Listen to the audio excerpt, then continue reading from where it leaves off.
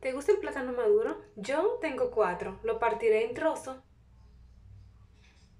Luego lo pondré a hervir. Le agregaré sal.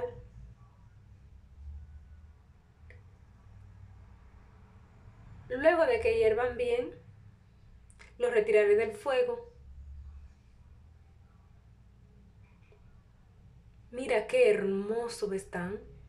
Ahora lo vamos a pelar.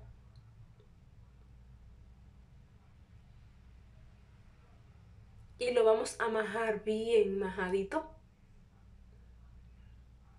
Una vez estén bien majaditos, entonces ahora le vamos a agregar una taza de leche evaporada.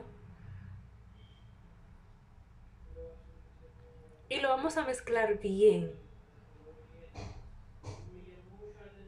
Una vez bien mezclado, ahora lo vamos a agregar a un envase con mantequilla y vamos a formar una primera capa. Luego agregamos queso mozzarella. Agregamos una segunda capa de plátano maduro y más queso mozzarella. Distribuimos bien, claro. Lo llevamos al horno y listo. Mira qué hermosura.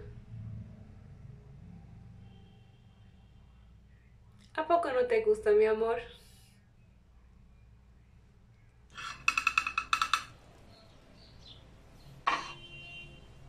Pues vamos a degustarlo juntito.